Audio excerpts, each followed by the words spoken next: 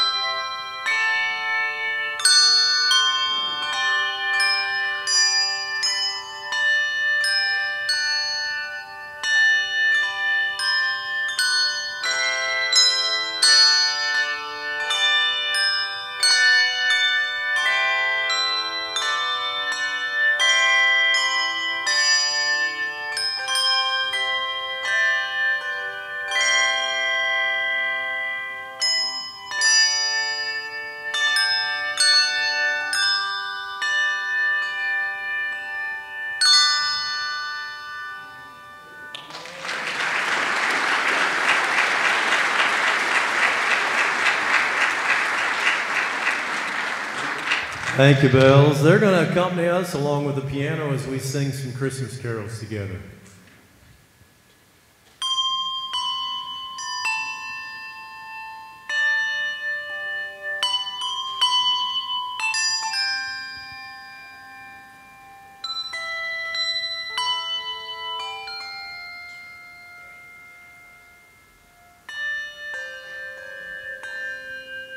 Sing with me. Emmanuel,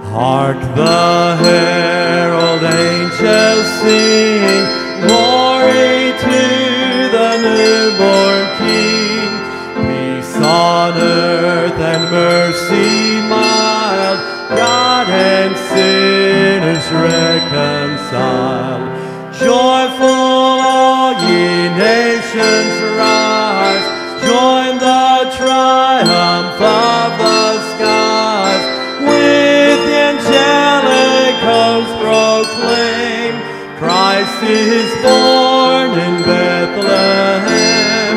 Hark the herald angels sing, glory to the newborn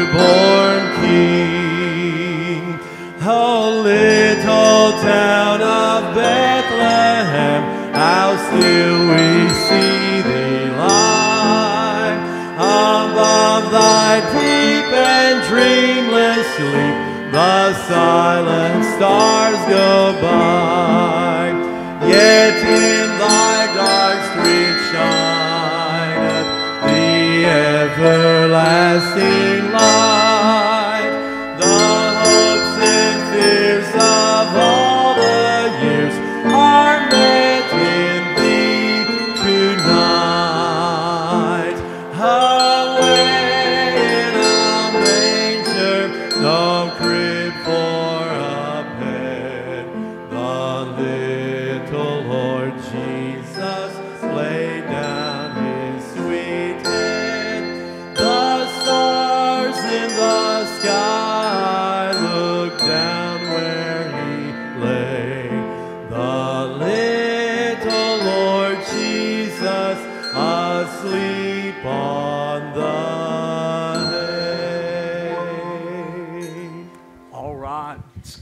To see all of you here on this Christmas Eve 2023.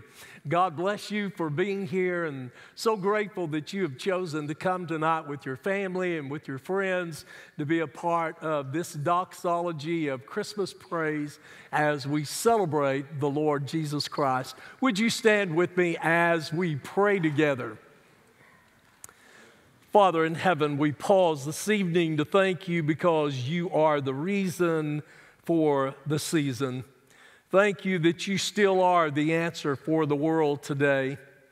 Thank you, Lord Jesus, that you stepped out of heaven's glory to come and to come on a mission to die on a cross and to shed your blood to cover the sins of mankind and then to rise victoriously over death, hell, and the grave and to give us life everlasting, to make your ascension back into heaven and then know that you're coming again one of these days. And Father, we thank you for the hope that we have in the Christ of Christmas, of whom we sing about, of whom we speak about, of whom is a part of our everyday life when we know you in a personal way. Thank you for these that have gathered this evening. Bless them, their families, be with them, watch over them. Uh, in this new year, I pray, oh God, for peace, for happiness, for joy. I pray for divine protection upon each life. And Father, we come tonight to celebrate in word and song the preciousness of the wonderful, matchless name of the Lord Jesus Christ, in whose name we pray. And all God's people said, Amen. Would you turn around and meet and greet someone tonight before we sing again?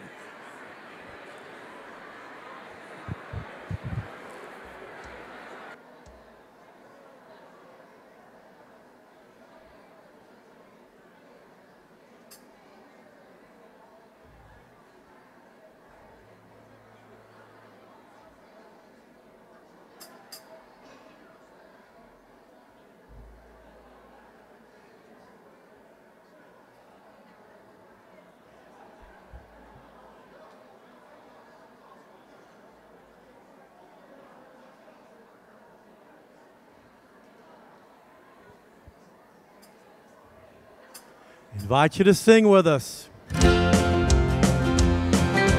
Come, all ye faithful.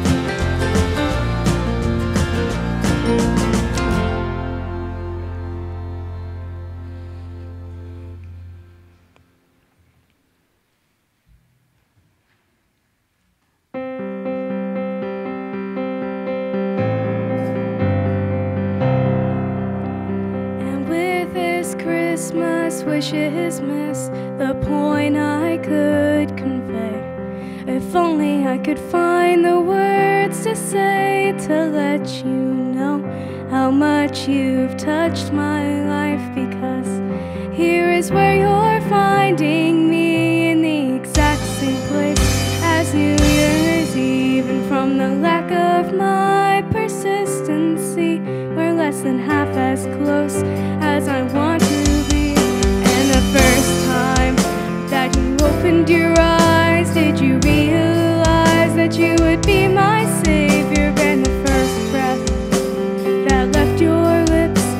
you know that?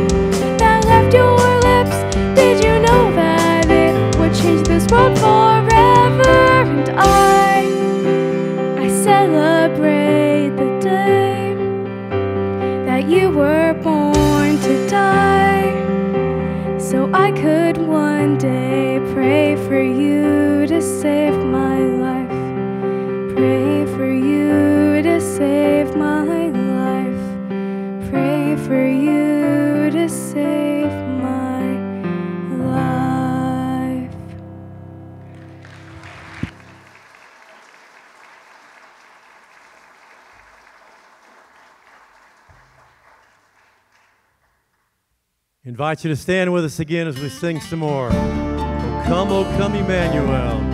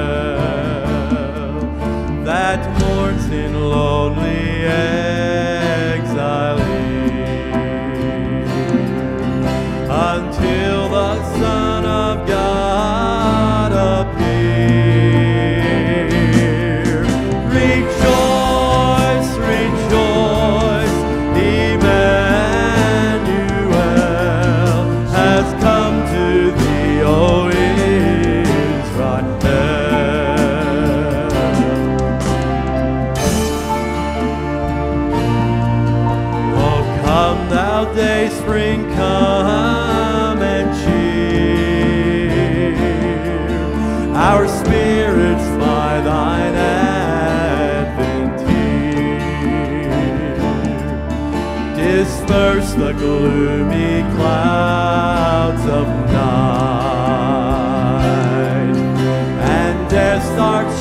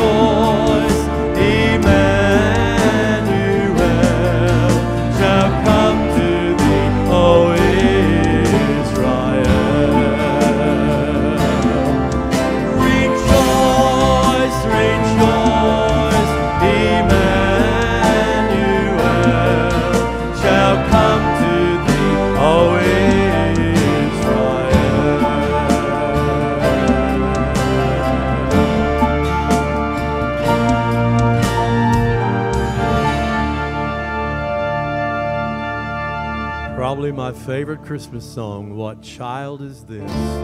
This, this is Christ the King.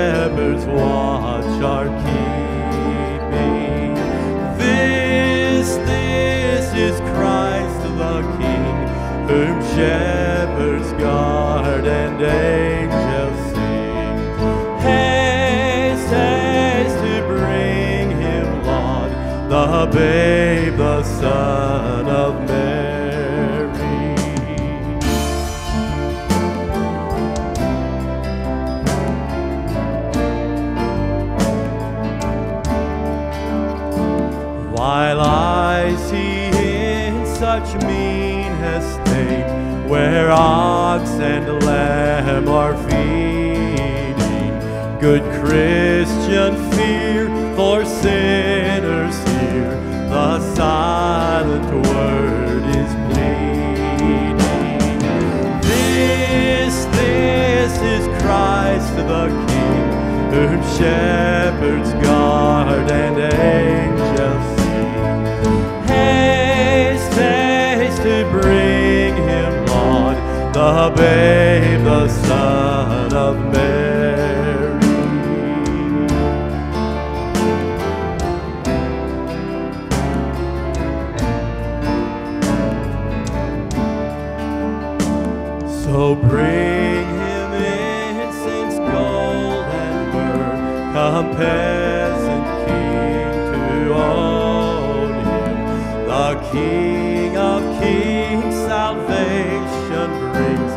Let loving hearts enthrone him.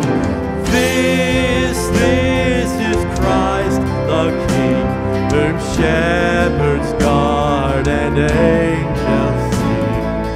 Haste, haste to bring him, Lord, the babe,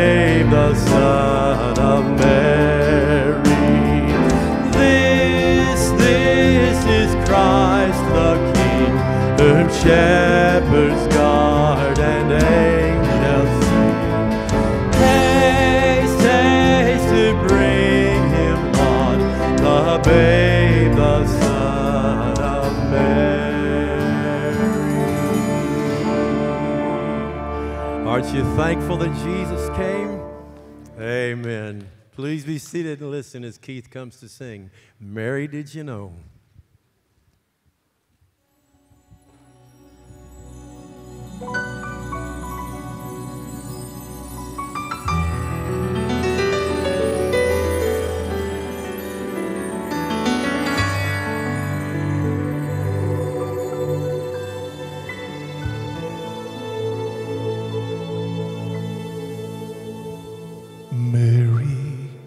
Did you know that your baby boy one day walk on water? Mary, did you know that your baby boy would save our sons and daughters? Did you know that your baby boy has come to make you new? This child that you delivered will soon deliver you. Mary, did you know that your baby boy would give sight to a blind man? Mary, did you know that your baby boy will calm a storm with his hand? Did you know that your baby boy has walked where angels trod? When you kiss your little baby, you'll kiss the face of God. The blind will see, the deaf will hear, and the dead will live again. The lame will leap, the dumb will speak, the praises of the Lamb.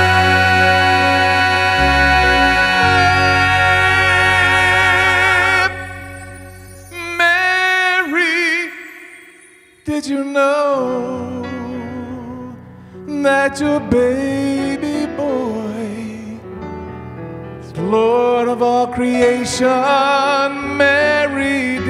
Know that your baby boy will one day lead the nations? Did you know that your baby boy is heaven's perfect lamb? And the sleeping child you're holding is a great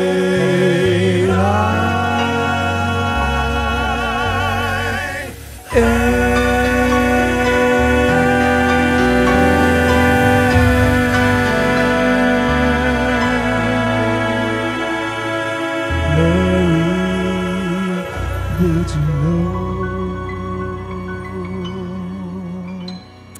Thank you, Keith.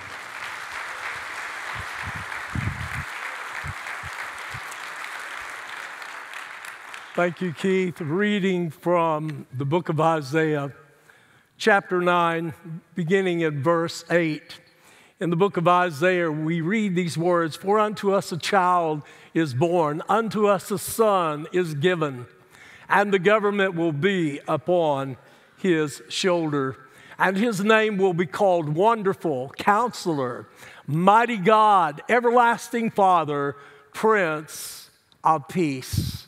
Of the increase of his government and peace there will be no end upon the throne of David and over his kingdom to order it and establish it with judgment and justice from that time forward, even forever. The zeal of the Lord of hosts will perform this. Then, reading from Luke chapter 2, the Christmas story. In Luke chapter 2, verses 1 and following, we read these words And it came to pass in those days that a decree went out from Caesar Augustus that all the world should be registered. This census first took place while Quirinius was governing Syria.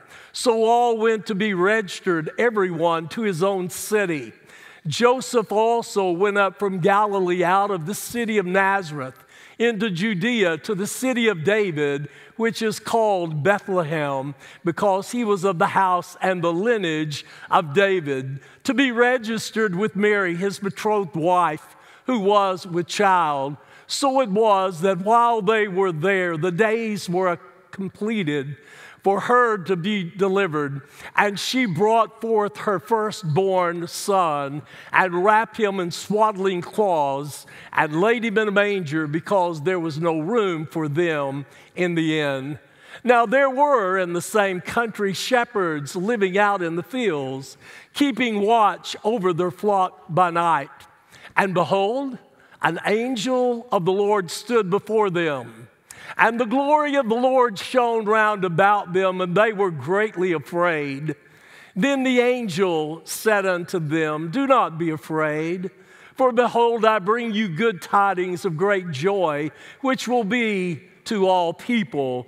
For there is born to you this day in the city of David a Savior who is Christ the Lord. And this will be the sign to you. You will find a baby wrapped in swaddling cloths, lying in a manger.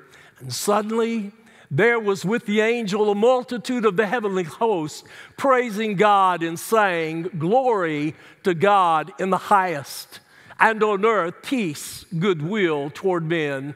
So it was when the angels had gone away from them into heaven that the shepherds said one to another, Let us now go to Bethlehem and see this thing that has come to pass, which the Lord has made known to us. And they came with haste and found Mary and Joseph and the baby lying in a manger. Now, when they had seen him, they made widely known the saying which was told them concerning this child. And all those who heard it marveled at those things which were told them by the shepherds. But Mary kept all these things and pondered them in her heart. Then the shepherds returned, glorifying and praising God for all the things that they had heard and seen as it was told them. Tonight, on Christmas Eve, I think back as Keith was singing that song a few moments ago Mary, did you know?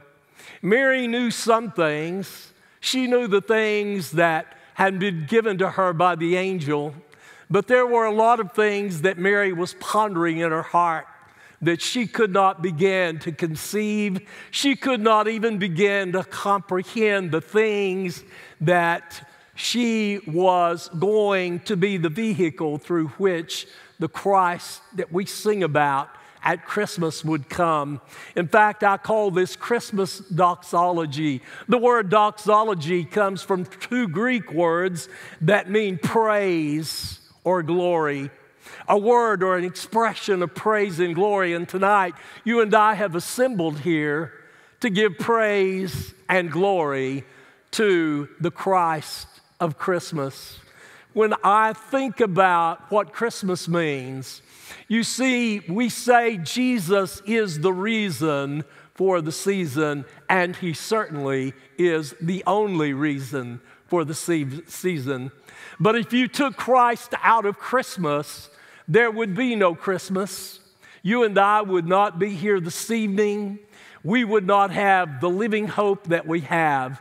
In fact, there are three things tonight I want to leave with you as we go in a few moments. But when I think of the Christ of Christmas, He existed long before He was ever born. He existed long before he was ever born in a manger in a place called Bethlehem of Judea. Let me tell you, tonight we come together, we join our hearts. We lift our voices in praise and adoration. We hear the Christmas bells that are playing. We see the glimmer of the lights and the various colors and the splashes of the Christmas season we join together with friends, with family to celebrate this wonderful time of the year. But you know, Christmas should be something that we celebrate every single day of life because the Christ of Christmas is with those and lives in the heart of those that know Him as their personal Lord and Savior for the past two Sunday mornings, we looked at Christmas biology about uh, Jesus being born of the Virgin Mary. This morning, we looked at Christmas theology that he was both God and man come to this world. And the reason he came to this world was so that in his 100% humanity, he could identify with all of the things that you and I experience in life, the things that are the good things, the things that are the bad things. He understood what it was like to be alone. He understood what it was like to be lonely. He understood what it was like to be in isolation. He understood what it was like to be falsely accused. He understood what it was like to have grief and sorrow and pain and suffering and blood shed. He came as the God man, fully human, yet without sin, and fully 100% divine. He was still God in human flesh. He stepped out of heaven's glory and came into this world that is filled with sin and heartache and sickness and all of the many other things that have fallen upon this fallen world. He came so that he might give the greatest gift of all, himself, to die on a cruel cross, to shed his blood to cover our sins so that we might have eternal life when we reach out and receive the wonderful gift of His amazing, wonderful grace. I want to leave you tonight with three points before we sing and light our candles of silent night as Ken comes.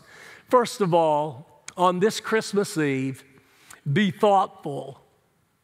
Be thoughtful that Jesus identified with us by robing himself in human flesh and stepping out of heaven's glory to come to this world to identify with us.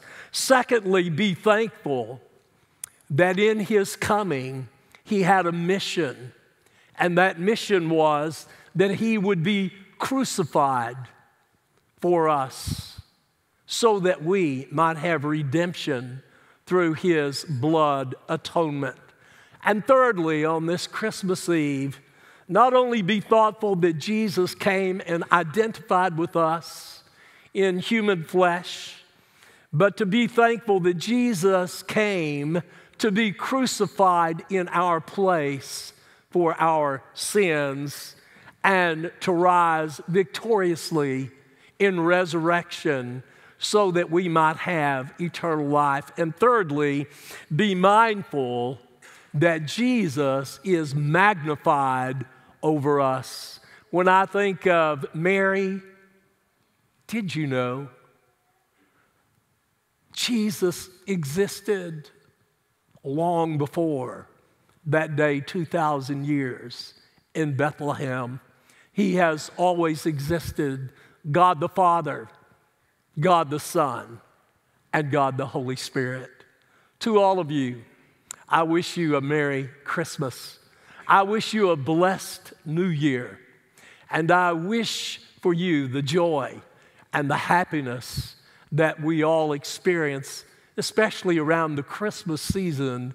But may it fill your lives each day with the expectant urgency to know that the most important thing in all of life is the Christ of Christmas and to know Him in a personal and an intimate way. You see, that's what Christmas is all about. God wrapped Himself and came to earth so that we might unwrap in Him the greatest gift of all, and that is everlasting life. Would you bow with me as we stand together? As I pray, would you just in this prayer right now, would you just go ahead and turn your candle on as the lights are dimmed? And I'm going to pray, and then we're going to sing Silent Night.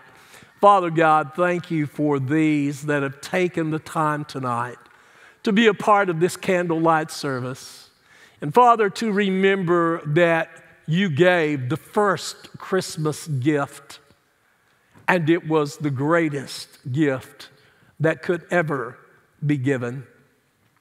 Thank you that you loved us so much that you gave yourself and you took our sins to the cross and you covered them with your blood and that you rose victoriously in resurrection and you are the living hope of this world. You are the reason for Christmas. And Father, tonight we pause in gratitude and in doxology of praise and thanksgiving for the wonderful living hope that we have in the living Christ of Christmas, and whose name we pray. And all God's people said, Amen.